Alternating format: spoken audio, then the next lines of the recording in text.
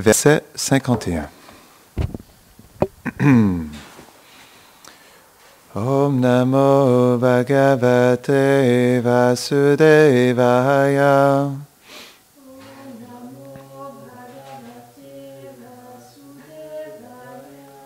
Om Namo Bhagavate Vasudevaya.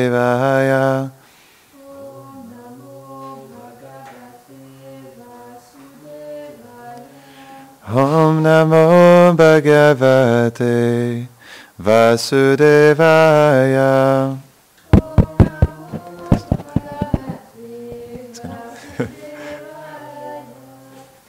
Hare Krishna.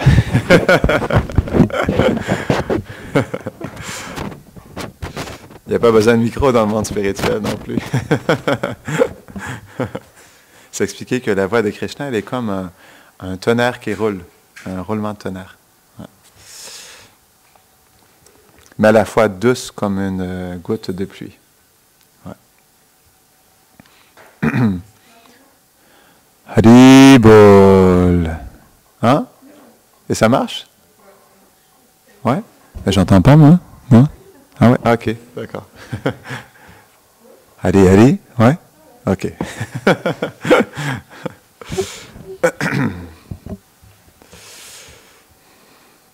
Robert lui donnait cet exemple. Il, euh, disait juste comme ce dictaphone, ben, comme on pourrait dire ce micro.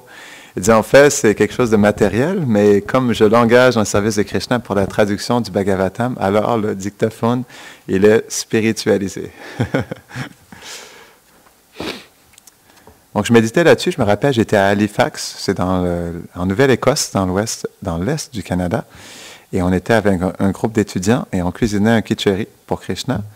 Et donc, je me posais la question, j'étais en train d'utiliser une casserole, et je me disais, est-ce que ça veut dire que la casserole devient consciente de Krishna? Parce qu'on l'engage dans le service de Krishna, et on, discutait de ça avec les autres brahmacharis, puis on était venu à la conclusion que non, elle n'est pas consciente de Krishna, mais elle est quand même spiritualisée. Ça veut dire que comme elle est engagée dans le service de Krishna, cet élément-là, il devient pur, même s'il n'est pas nécessairement conscient, il reste pur parce qu'il est engagé dans le service de Krishna. Et donc, ça devient un paraphernalia de Krishna, en réalité. La seule chose qu'il est, c'est qu'il n'est pas conscient. Tandis qu'Avrage, ben, la casserole, elle est consciente.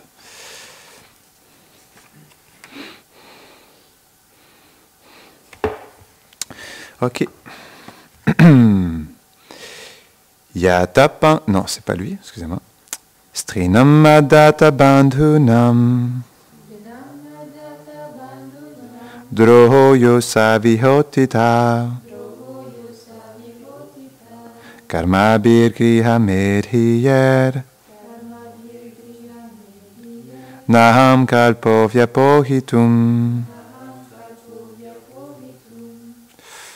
On va lire le, le 52 aussi, c'est le dernier verset du chapitre. Comme il y a un commentaire, on va aussi lire le 52, excusez-moi. Yata pankena pankamba. Suraya va surakritam. Bhutahatyam tataivaikam. Nayagyer marishtum arhati. Donc on va lire la traduction du verset 51 et 52. Les souffrances sans nom que j'ai causées aux femmes en tuant leur mari ou leur fils ne peuvent être expiées à travers un rite accompli en charité ou en sacrifice. Verset 52. De même qu'on ne peut clarifier l'eau boueuse en utilisant de la boue, purifier ce qui est contaminé avec de la liqueur en appliquant de la liqueur, il n'est pas possible de purifier une personne qui a tué même un seul être vivant par l'accomplissement des sacrifices d'animaux. Commentaire. Shila Vishwanath Chakravati Thakur cite Yudhishthir. Tout comme de la boue épaisse ne peut être purifiée par de l'eau boueuse, et un objet rendu impur par le contact avec le vent ne peut être purifié en le lavant avec beaucoup de vent, on ne peut être purifié du fait d'avoir tué des êtres, par l'accomplissement de nombreux sacrifices où l'on tue des animaux. C'est quand même contradictoire, hein? Parce qu'il y en a en Inde, ils pensent qu'en faisant des sacrifices d'animaux, ils vont s'expier de leurs péchés. Donc c'est quand même euh, spécial. Je suis allé une fois, euh, j'étais à Calcutta. Donc au Bengale, il y a beaucoup d'adoration de, Kali, de la déesse Kali. Et j'étais allé dans un fameux temple de la déesse. Je suis allé juste une fois dans un temple de Kali, j'ai voulu voir. Et donc je suis allé et euh, c'était particulier. Il y avait une arène avec un sacrifice pour animaux, il y avait encore du sang. Et donc il y avait un endroit où ils faisaient des sacrifices de chèvres régulièrement, probablement je pense à tous les jours. Et donc, après la visite, euh, il y avait un, brahmana qui m'avait demandé un don et euh, je n'avais pas voulu lui donner, mais il avait tellement insisté, je lui avais donné 10 roupies, mais je même si c'était 10 roupies, je m'étais senti mal de lui donner 10 roupies parce que j'avais donné 10 roupies pour, euh, pour le sacrifice d'animaux. Et donc, il m'avait dit, parce que je ne voulais pas lui donner d'argent, il m'avait dit, comme argument, il m'avait dit, mais en fait, il faut que tu comprennes, quand on fait ce sacrifice d'une chèvre, on l'offrande, on la donne aux pauvres après ça. oui, mais en même temps, c'est nourrir les pauvres avec un animal, c'est c'est pas une belle charité non plus. Hein. Donc euh, donc je m'étais tellement senti mal d'avoir donné 10 roupies pour un sacrifice de chèvre. je me rappelle, ça, ça a duré longtemps. je m'étais senti mal avec ça. Et on voit l'énergie, elle est différente. C'est quand même un temple, non?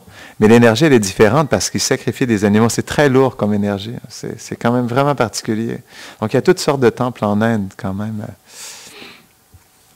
Or, le Shruti dit Sarvam, pap, sarvam nam tarati brahma hatyam yosvame dena yajate.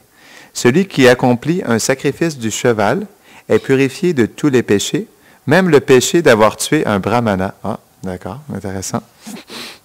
Notons que l'Ashvamedha le sacrifice où l'on offre un cheval, avait comme but non de tuer l'animal, mais de lui donner un corps nouveau. Parce que c'est d'expliquer que si le, yaga, le sacrifice, il était fait avec des brahmanas qualifiés, après ça, du, feu qui avait sacrifié l'animal, il y avait un cheval qui ressortait en fait.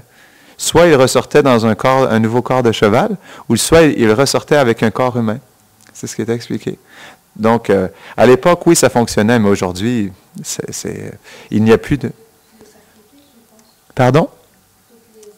Oui, pour tous les animaux. Oui, bien sûr, tout à fait. Donc, euh, la Shomeda Yaga, c'est quand même un sacrifice qui est renommé, mais il y avait même aussi des sacrifices de vaches. Hein. Mais encore une fois, la vache, elle, devenait, elle avait un corps humain après ça. Donc, euh, c'est pourquoi ce n'était pas nécessairement, c'était une renaissance pour, l'être vivant qui était sacrifié. Donc c'est pourquoi il se permettait de faire ça en réalité. Mais euh, c'était quand même des sacrifices intenses parce qu'il pouvait sacrifier des milliers de chevaux hein, ou d'animaux. Donc c'était des gros sacrifices. Donc c'est pourquoi même ces, sacrifices, ils avaient des, euh, des, portées ou des résultats. C'est expliqué que chanter le mantra, ça équivaut à un millier de sacrifices de chevaux, non?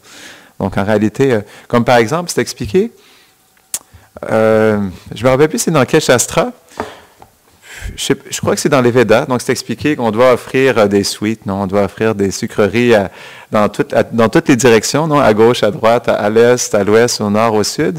On doit offrir des, des, des non, des offrandes aux demi-dieux. Mais en fait, euh, si quelqu'un est capable de chanter le même mantra, alors il devrait, euh, en, anglais on dit skip, il devrait euh, passer, il devrait passer tout ça et juste chanter le même mantra, puis il va atteindre les mêmes résultats juste en un chant du même mantra. Donc c'est quand même intéressant parce que on voit encore en Inde aujourd'hui, je me rappelle, des fois comme j'étais, une fois j'étais à Allahabad. Allahabad, c'est, c'est un endroit où il y a la jonction de trois rivières sacrées, du Gange, de, la Sarasvati et euh, je crois que de la Yamuna, non, de trois, de trois rivières.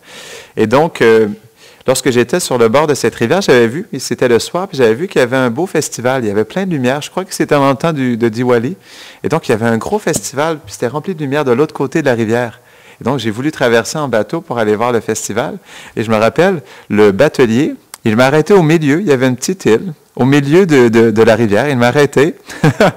Et donc, euh, il y avait un brahmana qui était assis là. Il y avait des noix de coco en face de lui. Et donc, il m'a laissé là. Et euh, donc, il m'a un peu forcé à, être avec le brahmana. Et donc, le brahmana, il a commencé à, faire des mantras, à chanter des mantras. Et là, il m'a posé des questions. Euh, c'est quoi le nom de tes parents? C'est quoi le nom de tes grands-parents? Donc là, je lui ai donné le nom de mon père. Et là, en chantant les mantras, il a dit François. Entre ses mantras. Donc après ça, donc il a fait plusieurs mantras, puis là il a secoué ses noix de coco. Et euh, après ça, il me dit 500 rupees.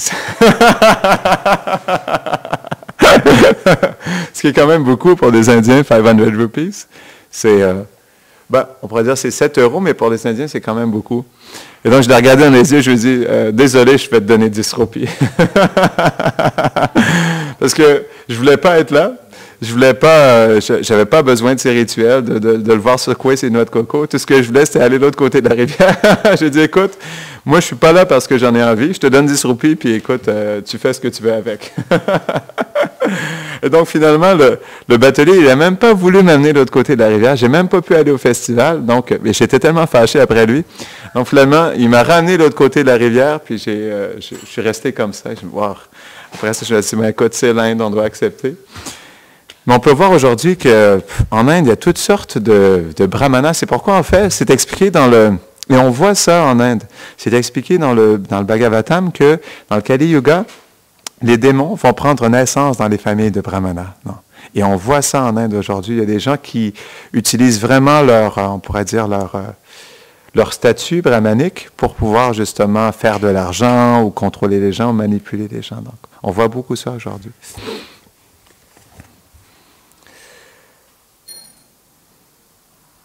C'est pourquoi Yudhishthir fut encouragé à accomplir ce sacrifice en vue de purifier ses actes passés. Dans notre âge, le Kali Yuga, ce genre de sacrifice n'est plus recommandé. On pratique plutôt le sacrifice qui consiste à chanter les saints noms du Seigneur. Hare Krishna, Hare Krishna, Krishna Krishna, Hare Hare, Hare Rama, Hare Rama, Rama Rama, Hare Hare. Pourquoi? Parce que le Mahamantra, c'est le meilleur des sacrifices dans le Kali Yuga. Donc c'est le Yuga Dharma. Et c'est un sacrifice qui donne des résultats. Les résultats, c'est le pur amour pour Krishna. C'est ce qui est spécial avec le Mahamantra. Ainsi se termine le commentaire du huitième chapitre du premier chant du Srimad Bhagavatam pour le plaisir des dévots, en accord avec les précédents précepteurs spirituels.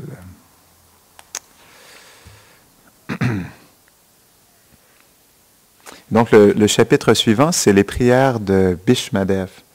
Lorsqu'il est euh, rempli de flèches, non, sur le point de quitter son corps. Et donc, comme Bhishmadev est un grand yogi aussi, non, un grand saint, donc il se maintient en vie et il attend de pouvoir rencontrer Krishna. Et donc, ben, je ne le dirai pas, non, on va, attendre pour le. Mais c'est une, une, très belle rencontre entre Bhishmadev et Yudhishthir Maharaj, euh, et Krishna, excusez-moi.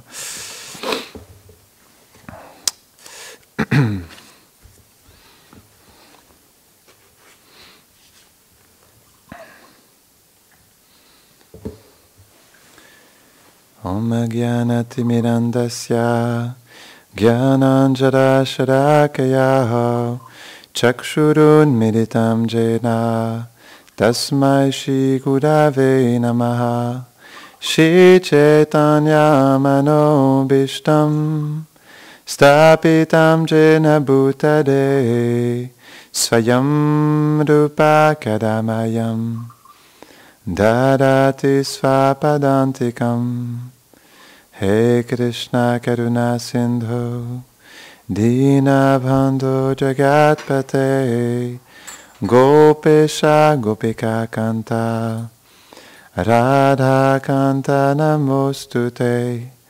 Tapta Kanchana Gorangi Radhe Vrindavaneshwari Prishabhanusute Devi Pranamami Hare Priye Vanchakalpatarubhyashta Kripa Sindhubhya cha Patitanam Pavanebhyo Vaishnavebhyo Namo Namaha Jaya Shri Krishna Chaitanya Prabhu Nityananda Shri Advaita Gadadhara Shivasadi Gaura Bhakta Vrinda Hare Krishna Hare Krishna Krishna Krishna Hare Hare Hare Rama Hare Rama Rama Rama Hare Hare Namahom Vishnu Padaya Krishna Prashtaya Bhutade Shimate Bhaktivedanta Swaminiti Namine Namaste Sarasvati Deve Gauravani Prachadine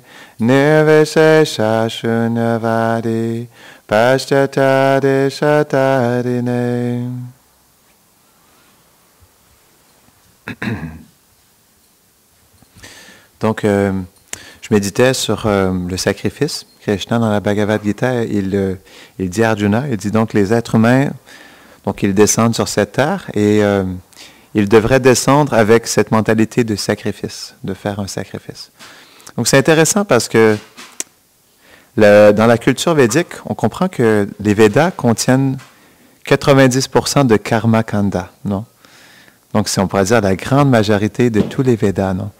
Donc, karma kanda, ce que ça veut dire, c'est qu'on fait des sacrifices, mais dans le but d'atteindre quelque chose pour soi, dans le but de recevoir des résultats matériels. C'est pourquoi les gens font toutes sortes de sacrifices. Non? Les gens font toutes sortes d'austérités aussi. Hein. Il y a des yogis qui vont méditer dans les Himalayas une vie entière, non à, moins 40 l'hiver. Hein. Il y a des yogis qui méditent euh, sur la neige, dans les grottes, et tout simplement juste pour atteindre les planètes édéniques. C'est fou à quel point les gens ils sont prêts à faire des austérités pour avoir euh, des choses matérielles. Ah, c'est trop fort. D'accord. Je suis trop près du micro. Donc, c'est fou à quel point les gens, ils sont prêts à faire des austérités juste pour accomplir des choses matérielles. C'est hallucinant. Et moi, je l'ai vu. J'ai vu des yogis dans les montagnes. On voit en, Inde, des fois, en plein été, en gros cagnard, hein, et en Inde, il fait chaud, là. À Vrindavan, les plaines du nord de l'Inde, c'est très chaud. À Vrindavan, il fait 55 de... Wow! OK. Il a augmenté le son, là. à Vrindavan, il fait 55 degrés l'été. C'est chaud, là. Je me rappelle, j'étais, l'endroit que je vous parlais tout à l'heure, à la Abad, j'étais là, là où on a rencontré le faux brahmana. Ah, il, faisait, c'était en juin, il faisait 55 degrés. À cette température-là, c'est comme si on avait notre corps entier dans un, four. c'est comme, c'est comme un gros barbecue. c'est entre 11h et 4h, c'est impossible de sortir dehors tellement il fait chaud. Donc, il y a des yogis, donc à 55 degrés, en gros cagnard au gros soleil, ils méditent au gros soleil et ils mettent un, un cercle de feu alentour d'eux. Et ces personnes-là, ils vont faire ces sacrifices juste pour atteindre les planètes zéléniques. C'est hallucinant. Donc c'est tellement stupide en réalité. Hein. Et comme on, comme on disait tout à l'heure, les gens, ils doivent faire toutes sortes de sacrifices, des suites à gauche, à droite, à toutes les, à toutes les demi-dieux, tandis qu'ils pourraient tout simplement chanter le Mahamantra. C'est tellement spécial. Le on chante une fois le Mahamantra et Chaitanya Mahaprabhu, il déclare que lui qui chante une fois le Mahamantra, il est considéré comme le meilleur de tous les êtres humains. Non. Donc cette personne-là, elle n'aura pas de mauvaise mort dans le sens où elle ne sera pas prise par les Yamaduta parce qu'elle a chanté une fois le Mahamantra. Donc c'est tellement de bon augure en fait, le sacrifice du Mahamantra. C'est tellement spécial. Et je méditais là-dessus, sur l'aspect du sacrifice. Donc, Krishna, il explique qu'on doit vivre dans le sacrifice. Pourquoi? Et c'est drôle parce que qu'est-ce qui fait que ces personnes-là, qui, euh, donc il y a les yogis qui vont faire une vie entière de sacrifice juste pour leur plaisir personnel, hein, pour avoir une position spéciale et pour boire du somarasa, non, le liquide, le nectar euh, des demi-dieux. C'est une boisson enivrante qui amène une profonde extase. Non, Somarasa, ça s'appelle. Et donc, juste pour, pour euh, avoir une, petite tasse de Somarasa, ils vont être prêts à faire 50 années d'austérité dans les Himalayas. Mais en même temps, on voit aussi d'autres personnes qui euh, ont de la difficulté à faire des austérités et qui vont faire des sacrifices parce qu'ils sont obligés de faire des sacrifices. Comme par exemple, Prabhupada, il explique ça. Donc, dans la culture védique, pour les Grihastas, donc parce que ça parlait justement des la tuerie des animaux dans les sacrifices. Et donc, pour les Grihastas dans la culture védique, ils avaient cinq yagyas à faire. Cinq différents yagyas. Parce qu'il faut comprendre que chaque geste dans ce monde est un geste de violence. On sort, du temple. Non? En été, il y a toutes sortes de, bibites, non? des, euh, euh, bibites, non? Vous connaissez pas les bibites? des insectes. Au Québec, on appelle ça des bibites. Mais a, Pardon? Des bébêtes Ah, d'accord. Nous, c'est des bébites. Et donc, il y a toutes sortes de bébêtes, de bébites et d'insectes l'été. Et donc, à chaque fois qu'on sort dehors, si vous allez dans le parc, à quel point on tue des êtres vivants? Enfin, on ouvre notre bouche et euh, il y a tellement d'êtres vivants dans notre bouche. On ne réalise pas. Comme, je ne sais pas où j'avais lu ça. Il y a des, dans le corps, il y a 25 milliards de cellules dans le corps. Et ça, ça veut dire 25 milliards d'êtres vivants dans notre corps. C'est fou, hein? 25 milliards d'âmes spirituelles. Sans compter les bactéries, sans compter, là on parle des cellules, non? Sans compter les bactéries, sans compter les virus, sans compter ce qu'on mange, toutes ces choses-là, ça fait des milliards d'êtres vivants qui sont dans notre corps. Donc juste en ouvrant notre bouche, on pose un geste de violence. On tue des êtres vivants. Donc lorsqu'on marche dans la rue, on tue des fourmis. Donc on tue des êtres vivants à tous les jours. C'est pourquoi dans la culture védique, ils avaient cinq sortes de sacrifices avec le feu. Donc un sacrifice pour lorsqu'ils faisaient le ménage dans la maison, parce qu'ils savaient que s'ils faisaient le ménage dans la maison, ils allaient tuer toutes sortes d'êtres vivants, et pour ça, ils devaient faire un sacrifice. Et donc un sacrifice pour ce qu'ils prenaient des demi-dieux, par exemple, ils utilisaient des choses, non? comme ils utilisent l'argent, ils utilisent du matériel, la nourriture, et pour toutes ces choses-là aussi, il y a des réactions si on ne fait pas de sacrifice. Donc il y avait aussi un autre feu qui était fait pour ces choses-là, non? Et donc, pour la famille, pour les ancêtres, il y avait un sacrifice qui était fait à tous les jours, je me rappelle. Dans la culture bouddhiste, comme ça vient de l'Inde, il y a quand même des, euh, aspects de la culture védique qui sont présents. J'avais passé trois mois dans une famille bouddhiste en Thaïlande. Et donc, ils avaient un bel hôtel avec une belle euh, déité de Bouddha et aussi des photos de leurs ancêtres. Et à tous les jours, ma famille, ma, mais et pas, mais c'est maman en thaïlandais et pas, c'est papa. Donc moi, je les appelais. Elle, euh, je lui ai dit, c'est quoi ton nom? Elle m'a dit, mon nom, c'est Mais. elle ne m'a jamais donné son vrai nom. Et lui aussi, pas. J'ai jamais su leur vrai nom. C'était juste Mais et pas. Et donc, à tous les jours, Mais et pas, ils euh, faisaient une offrande à leurs ancêtres. Ils offraient des mangues, des fruits, puis ils offraient des choses à Bouddha aussi. Donc, donc même dans cette culture-là, il y avait une conscience qu'on doit quelque chose à nos ancêtres. Non. Dans la culture occidentale, ce n'est pas quelque chose qui est vraiment présent. Mais même dans, les cultures asiatiques, comme dans les cultures bouddhistes, c'était quelque chose qui était très important pour les gens. Comme aussi de faire des offrandes aux moines et tout. Donc on voit que les gens, comme il y a des réactions, il y a certaines personnes qui sont forcées de faire des sacrifices parce que sinon ils vont engendrer des réactions négatives, non? Et donc je méditais là-dessus, ok, donc il y a des gens qui sont forcés, puis à cause de ça, ils sont obligés, ils vont le faire, mais en même temps, c'est tellement je méditais là-dessus et le sacrifice, c'est la nature de l'âme. C'est tellement naturel pour l'âme. L'âme, elle est supposée vivre dans le sacrifice constamment parce que, comme par exemple, pour les résidents de Vraj, les Vrajavasi, eux, ils sont toujours dans le sacrifice. Tout ce qu'ils font est pour le plaisir de Radha et Krishna. C'est pas que ils n'ont pas cette, ils pas du tout cette mentalité de faire quelque chose pour eux. Si on leur parle de la gratification des sens, pour les résidents de Vraj, ça c'est quelque chose qui est complètement inconnu et farfelu pour eux. Ils ne pourraient jamais comprendre qu'ils peuvent faire quelque chose pour leur propre plaisir. Ce ne serait pas possible. Parce que ce n'est pas dans leur mentalité. Cette, euh, gratification des sens ou le fait de faire des sacrifices pour son plaisir personnel n'a aucune existence à Vrindavan. Donc, tout est fait comme un sacrifice d'amour en réalité, non? pour le plaisir du couple divin. C'est ça qui est spécial. Et je méditais là-dessus profondément. Je me disais, mais en réalité, comme par exemple, les êtres ont la difficulté à faire des austérités dans ce monde. Ils ont de la difficulté à devenir des Vaishnavas, faire des austérités pour le plaisir du maître spirituel, pour le plaisir des déités, non? Mais en réalité, si on médite là-dessus un instant, on devrait se poser cette question pour nous-mêmes. Mais en réalité, si on n'a pas de, si pas de goût au sacrifice, et si le sacrifice n'est pas notre existence, le cœur de notre existence, alors qu'est-ce qu'on est comme personne? Parce que l'être humain, l'âme, elle est faite pour, pour se sacrifier, non? Tatasta Shakti, c'est sa fonction même. Et même aussi, je pourrais dire que c'est une fonction qui est tellement belle dans l'âme spirituelle. Tatasta Shakti veut dire qu'elle assiste, elle est une assistante. C'est le cœur de l'âme d'assister, en fait, les, résidents de Vrindavan à servir le couple divin. Donc c'est pourquoi, en fait, cet aspect de sacrifice, il est tellement essentiel pour le développement de, pas seulement de notre dévotion, mais de notre amour pour le couple divin aussi, et pour tous les résidents de Vraj. Parce que le sacrifice, c'est le cœur, en fait, de la dévotion. On se sacrifie par amour pour euh, donner du plaisir au couple divin. Donc, c'est pourquoi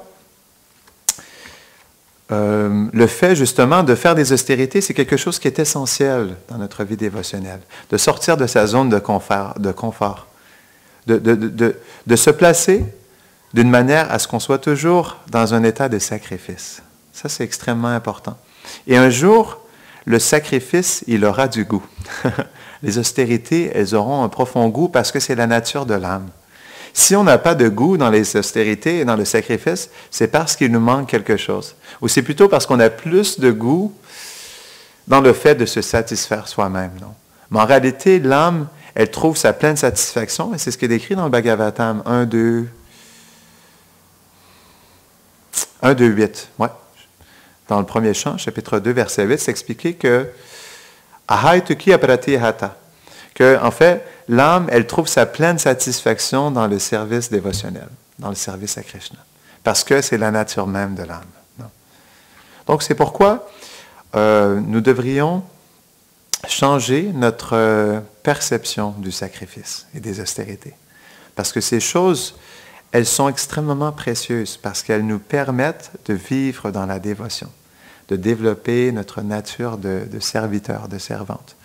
C'est pourquoi les sacrifices, euh, et comme par exemple le fait de vivre dans un temple aussi, c'est spécial parce que on vit tellement de sacrifices, justement, pour le plaisir euh, de, des déités. C'est ce qui est spécial dans le temple, parce que le temple, en réalité, c'est la maison de Krishna. C'est la maison de Krishna.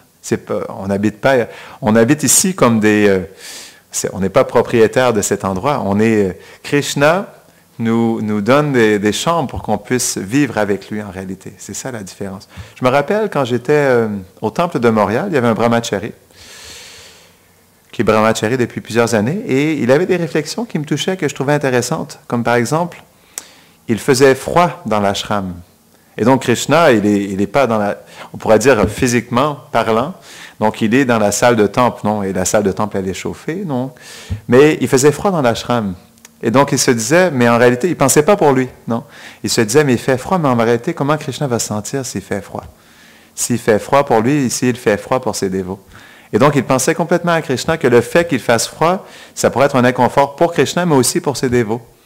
Et donc, il était dans cette, dans cette attitude. Je trouvais ça beau. Je me disais, oui, c'est vrai en réalité.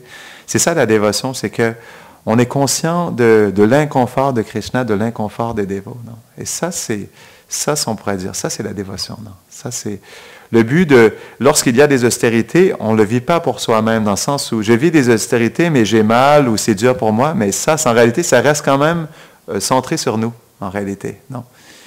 Mes austérités me donnent des difficultés personnelles. Ça reste encore centré sur nous. Comment euh, mes austérités ou les austérités qui se passent ici sont connectées à Krishna? C'est ça la différence en réalité, non? Encore une fois, on fait des sacrifices, on fait des austérités, on est dans un inconfort, et ces difficultés, on ne les vit pas juste pour nous, mais on les vit en connexion avec Krishna et ses dévots. Et là, là, les austérités, elles ont tout un sens, et là, elles font naître la pure dévotion dans notre cœur. Bon, je voulais parler un peu du sacrifice, comme ce verset, elle parlait de ça, mais ça fait plusieurs jours que je médite sur le pouvoir de la prière. Et donc, je voulais vous en parler aujourd'hui. Et donc, hier soir, euh, j'étais dans le train, et entre Paris et Rouen, il n'y a pas beaucoup de réseaux. Et donc, euh, à chaque fois que j'essayais de trouver quelque chose sur le pouvoir de la prière, le, réseau tombait. donc, à un moment donné, je me suis dit, bon, OK, c'est bon, je vais laisser faire. Et je me suis dit, mais un instant, mais euh, je pourrais chercher, euh, lire des choses sur le pouvoir de la prière, mais en même temps, je pourrais juste prier aussi. et donc, j'ai passé 30 minutes et je me suis mis à prier pendant 30 minutes et à méditer en, priant moi-même, en méditant sur le pouvoir de la prière. Et euh, je suis venu à des réalisations par rapport à ça. Je réalisais à quel point la prière, c'était spécial, à quel point c'était puissant aussi, et à quel point c'était essentiel dans notre vie de tous les jours. Parce que la prière, c'est, c'est, une, c'est un moment privilégié où on, on fait une requête d'amour envers Krishna. Mais quelque chose qui est important de comprendre avec la prière, c'est que lorsqu'on approche Krishna ou les Vaishnavas, on ne devrait jamais les approcher juste directement comme ça, non? Comme par exemple, leur demander quelque chose directement. Nos acharyas expliquent que, en fait, la prière, ça devrait toujours commencer par une glorification de Krishna, de Radharani ou d'un Vaishnav, comme Prabhupada ou Bhaktivinoda. On devrait toujours commencer par une glorification de, de leur qualité ou de leur... Euh, comment achievements, de leur euh, exploit, si je peux dire comme ça, de leur exploit, c'est ça.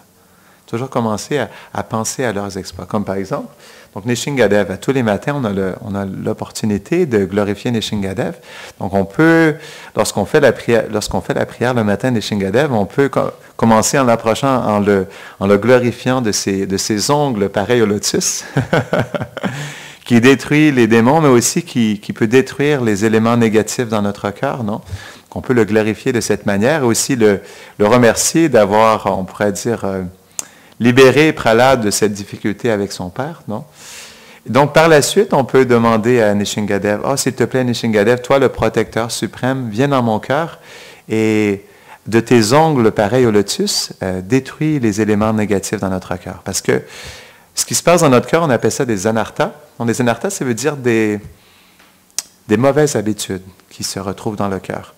Et donc, Vishwanath Chakravarti Thakur, elle explique que ces anarthas, ils sont comme des, enracinés, c'est comme des, mauvaises herbes, donc ils sont enracinés dans le cœur. Et je ne sais pas si vous avez déjà fait de l'agriculture. Je pense qu'on avait déjà donné cet exemple dans le passé. Mais les mauvaises herbes, elles, elles ne sont pas seulement jolies aussi, parce qu'elles ressemblent à des... Parfois, elles ont des belles fleurs, mais aussi elles ont des sacrées racines. Et d'essayer de sortir ces mauvaises herbes, parfois, c'est extrêmement difficile. Il faut vraiment faire le tour avec la pelle, il faut bien creuser, non? Et donc, Vishwanath Chakravarti Thakur, il explique que ces anarthas, ils ressemblent aussi au plan de la dévotion, c'est ce qui est parfois compliqué, mais aussi, elles sont profondément enracinées dans le cœur et ce n'est pas toujours facile de les sortir. Non?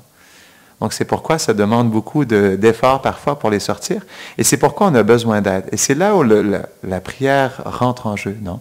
Parce que par nous-mêmes, quelle est notre puissance? Non, on est tout petit, non? On est un millième le bout d'un poil, non? Un dix millième. Donc, quelle est notre puissance pour se sortir de nos difficultés?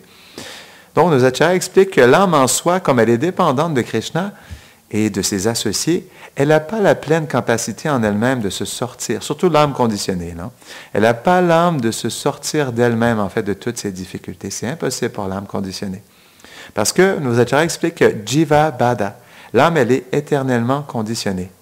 Si vous êtes tant et si longtemps qu'elle est sous les euh, griffes de Maya, elle est conditionnée. C'est pourquoi on dit qu'elle est éternellement conditionnée. Ce n'est que lorsqu'un Vaishnava vient et libère cette personne qu'elle commence à vivre dans la miséricorde. Mais avant ça, ce n'est pas possible, non. Donc c'est pourquoi la prière, elle est essentielle parce qu'on réalise que nous sommes complètement impuissants par nous-mêmes. Que par nous-mêmes, nous n'avons pas la possibilité de sortir de nos difficultés, de vivre dans le plein amour. Donc c'est pourquoi, comme par exemple, les Shingadev, c'est pourquoi c'est une déité qui est très importante pour nous aussi dans notre vie de tous les jours. Parce que c'est notre protecteur suprême et c'est lui qui enlève les obstacles dans notre cœur. Donc il vient dans notre cœur et c'est lui qui enlève les racines dans notre cœur. Par nous-mêmes, c'est difficile. Parfois, on se sent submergé par ces anarthas. Pourquoi? Parce que Prabhupada explique que nous avons un lourd conditionnement. Ça fait des millions d'existences qu'on est dans ce monde. Et donc, Prabhupada explique qu'on ne devrait pas s'attendre à ce que tout s'en aille comme ça d'un coup. Non, ça prend du temps avant que le lourd conditionnement s'efface. Donc c'est pourquoi la prière, elle est essentielle, parce que même si on a un lourd conditionnement, Krishna peut faire des miracles. Et Nishingadev peut venir dans notre cœur et peut déraciner même les choses les plus enfouies au plus profond de notre cœur. Qu'est-ce que, qu'est-ce que, on pourrait dire, donc pour nous, d'accord, pour nous c'est impossible. On pourrait dire, nous sommes submergés, c'est impossible, on ne peut rien faire. Mais lui, Nishingadev, notre, notre protecteur suprême, lui, il peut tout faire. Lui, il peut faire des miracles. Qu'est-ce que c'est pour Nishingadev de purifier le cœur d'un être vivant? Non. Donc, il a purifié le cœur d'Hiranyakashipu, non? C'est un sacré démon. C'était des divertissements, bien sûr, mais c'est pour nous montrer, non, qu'il a libéré aussi euh, Hiranyakashipu de tous ses péchés, de toutes ses, faiblesses de cœur. Après ça, il a eu une meilleure position par la suite, non? Donc, on doit faire confiance en cette miséricorde. Et la, prière, elle est essentielle parce qu'elle nous permet de, de quémander cette miséricorde. Et donc, on ne devrait jamais oublier l'importance de prier Nishingadev à tous les matins, de lui demander de venir et de, bien vouloir faire le ravage, comme il a fait avec Hiranyakashipu. Quand même, il s'est, euh, il, on pourrait dire, euh, il est un chirurgien expert. de ses griffes pareilles au lotus. on pourrait dire c'est l'origine des scalpels. Il a, ouvert la poitrine de Hiranyakashipu. Donc, il a pris ses entrailles et il en a fait une guirlande de fleurs, comme une guirlande en entour de son cou. Donc, on ne devrait jamais douter de l'expertise de Nishingadev à sortir les éléments les plus néfastes de notre cœur. Il peut le faire. Et il peut le faire immédiatement aussi, mais il attend juste notre, notre supplication. Non? Parce que comme même si Nishingadev représente, on pourrait dire, la colère transcendantale, il reste qu'il est aussi quand même dans une profonde humilité. Parce que c'est expliqué que lorsque Nishingadev, il avait Pralad sur, ses genoux, il était comme un père, comme un, lion, et euh, de sa langue, non, il, euh, il lichait le, corps, comme d'un petit lionceau, il lichait le corps de Pralad. Non? Il était dans une profonde douceur. Et on voit parfois justement Nishingadev de, qui est positionné comme ça. Il y a des peintures. Il a l'air tout doux, non? comme un père avec son enfant. Donc, en réalité, Nishingadev, par son humilité aussi, par sa douceur, il ne va pas s'imposer, même s'il il est capable de le faire, non? comme il l'a fait avec Chankazi. Il lui, a, il lui a donné un coup de griffe, il lui a dit, si tu n'arrêtes pas, euh, tes menaces au mouvement de Sankirtan, alors euh, comme j'ai fait avec Iran Yakashipu, je pourrais faire la même chose avec toi.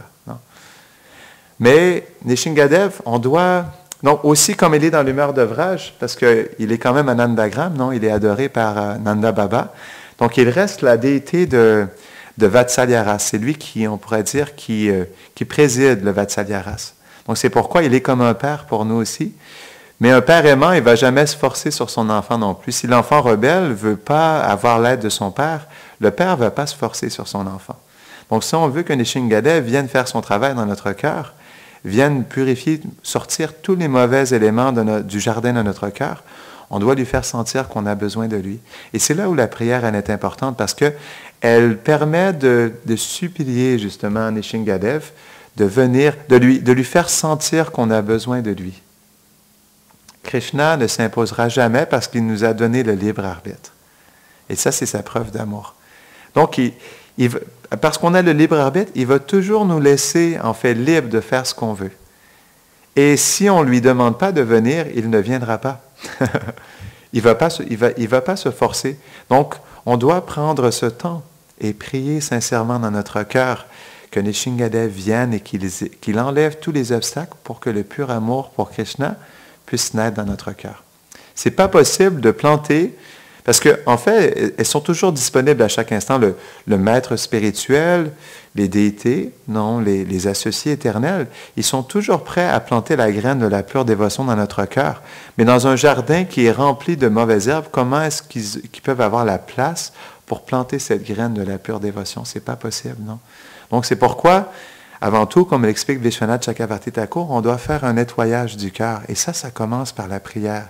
La prière, c'est extrêmement essentiel dans notre vie de tous les jours.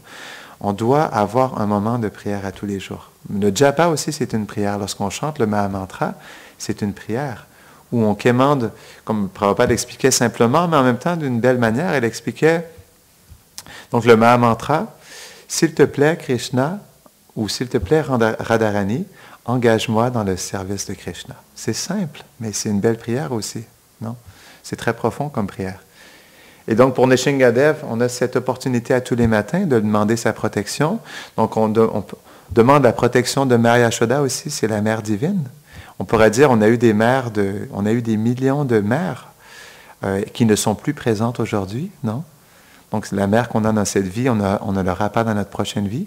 Mais Yashoda Mata, elle est toujours présente et elle est toujours présente comme notre mère aussi. Donc on peut aussi approcher Yashoda Mata comme notre mère divine, non?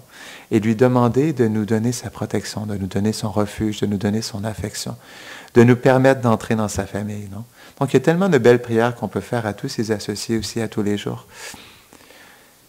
Et si si on, ne, ressent pas que euh, Krishna vient dans notre vie, alors ça veut dire qu'on ne prie pas assez. On ne prie pas assez sincèrement, non. Parce que Krishna répond toujours aux prières. Ça, c'est sûr. Il ne répondra pas nécessairement de la manière qu'on le souhaite, parce qu'il est libre, non? Par sa douce volonté, il sait qu'est-ce qui est mieux pour nous aussi. Donc, il ne va pas nécessairement, peut-être qu'il va, peut qu'il va se manifester d'une manière complètement opposée à ce qu'on pensait. Peut-être au lieu de nous donner quelque chose, il va nous enlever quelque chose. C'est possible aussi. Hein? Parce que s'il nous donne ça, peut-être qu'on n'est pas encore prêt pour le recevoir. Et peut-être que non, il, doit enlever encore d'autres choses pour qu'on puisse recevoir le cadeau non, de la pure dévotion. Donc en même temps, c'est comme la prière aussi, ce qui est spécial, c'est comme un couteau à double tranchant aussi. Parce que ce qu'on prie à Krishna, ça ne veut pas dire qu'on va recevoir exactement ça non plus. Mais on doit faire confiance. C'est pourquoi, je me rappelle, je discutais avec Bhaktinandan Maharaj la dernière fois qu'il était venu, et il m'avait partagé quelque chose que, j'avais beaucoup apprécié. Donc il avait dit en réalité, par rapport à notre relation éternelle avec euh, Krishna et ses associés, la meilleure prière, c'est de leur demander de faites de moi ce que vous voulez. Donc, peu importe, euh, qu'est-ce qui, vous qu'est-ce qui vous satisferait le plus de moi? Qu'est-ce que je peux faire comme service? Qu'est-ce que je peux avoir comme relation avec vous qui va vous satisfaire le plus? S'il vous plaît, engagez-moi dans ce qui va vous satisfaire le plus. Et je trouvais que c'était simple, mais à la fois, c'était très profond aussi. Et c'est une belle prière, comme par exemple, on peut demander toutes sortes de choses aussi, mais à la fois, on peut juste demander, faites ce que vous voulez pour moi, faites ce que vous pensez qui est nécessaire. Laissez-moi prendre votre refuge et s'il vous plaît, décidez de qu'est-ce qui est mieux pour moi. Bhakti Tirthaswami, il avait cette prière qui est intéressante, je trouve. Il disait, s'il te plaît, Krishna, enlève ce, que tu dois enlever dans mon cœur et ajoute ce qui est nécessaire pour que je puisse euh, atteindre la pure dévotion. Donc, c'est une belle prière aussi. Donc, euh, on va terminer ici. Est-ce qu'il y a des questions ou des réflexions avant qu'on termine la classe? Jai Grantara Shimad Bhagavatam ki? Jai.